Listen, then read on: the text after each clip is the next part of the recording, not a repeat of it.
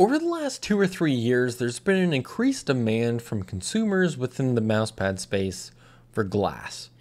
And for most companies, whenever you look at glass pads, they have one singular goal in mind providing the fastest mousepad possible. Any company you look at a glass pad, their focus is providing the fastest experience possible. And that's true for most companies, with the exception of TJ Exclusives. Now, I do know that Padsmith and other companies have offered control pads as well, but TJX has specifically focused on control pads and control pads alone. So, when you look at companies that offer a ceramic pad with the level of detail and precision that you see in the Cerapad Kin, there's one company that does that, and it's only TJX. So is the Cerapad worth it?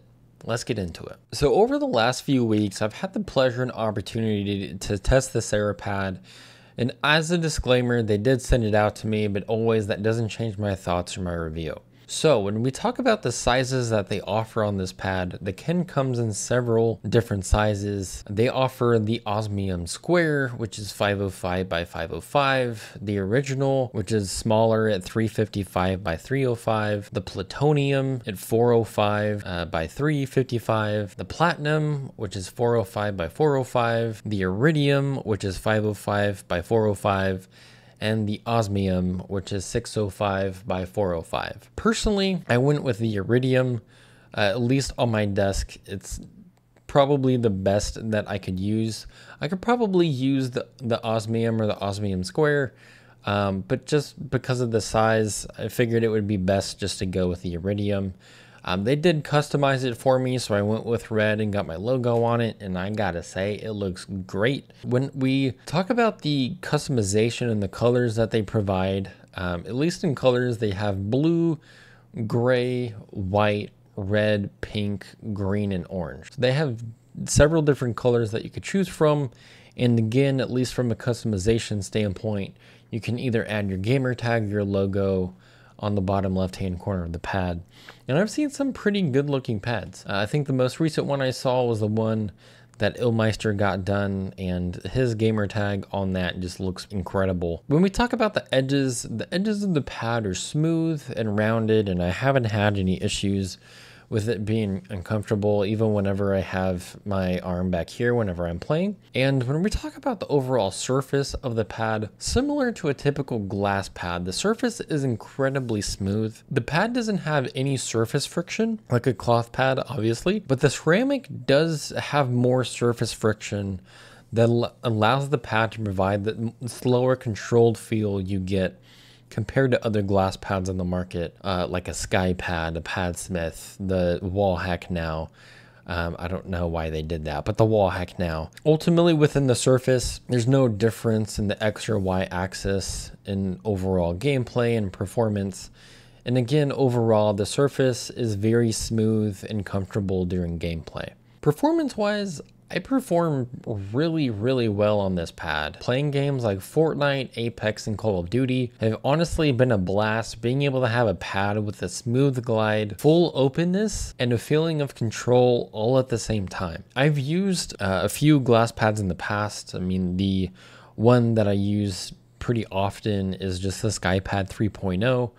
Um, this Skypad 3.0 is obviously a much faster glass pad, it doesn't have the same amount of control. Yes, it's still open, but you have to, you're really more in control whenever you're using a SkyPad and a, a pad similar to that where whenever you're doing any kind of glide or target switching, ultimately your performance is on you. It's ultimately going to be how you control the mouse along the surface of the pad. Whereas this does give you more control from the pad itself. So there's less of that that you have to do on this pad compared to something like, uh, again, a Wallhack, a Padsmith, something like that. Obviously, whenever I talk about Padsmith, I'm not talking about the controlled version, I'm talking about the speed version. So I just wanted to make that clear. At least whenever we're using the Cerapad Kin, the one thing that I did want to talk about is skates. So I tested several different mice, as I always do.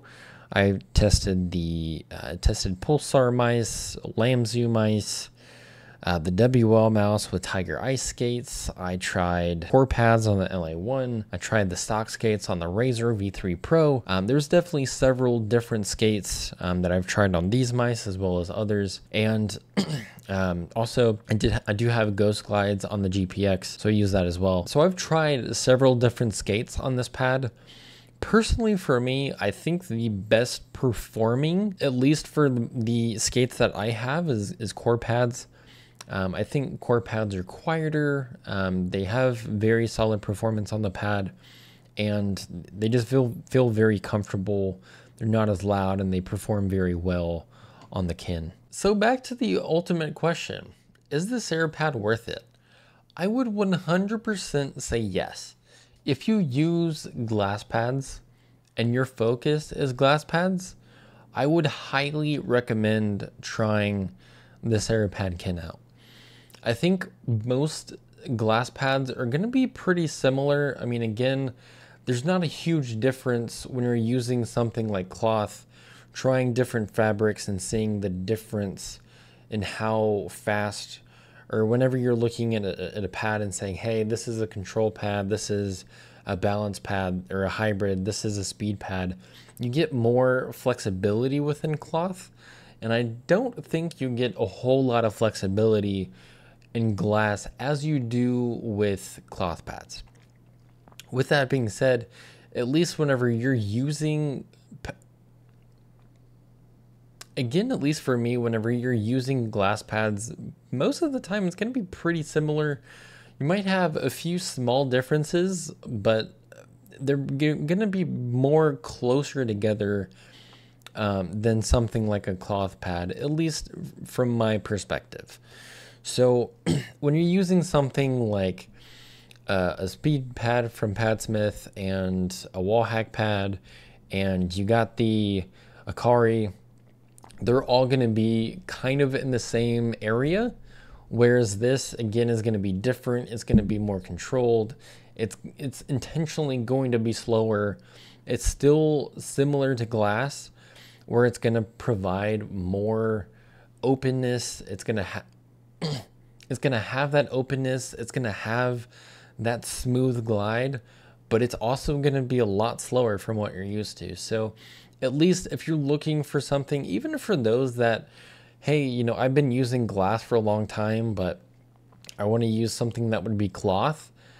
Maybe you might want to look at a Cerapad kin as like the the middle ground of hey, before I move all the way back to cloth, maybe you should try the kin out. I think that's a good spot um, for those that are looking to try out glass but don't want to go full speed, or if you're already in glass wanting to go backwards, again, I mean, check out this Cerapad Kin. I've been using this pad for a while, and like I said, I perform great. It feels great. Um, and I've really been enjoying this pad. So it's definitely going to be something I hold on to for a long time. And yeah, I mean, if you have any other questions, feel free to throw them in the comment section down below. And with that, I will catch you all next time. Peace.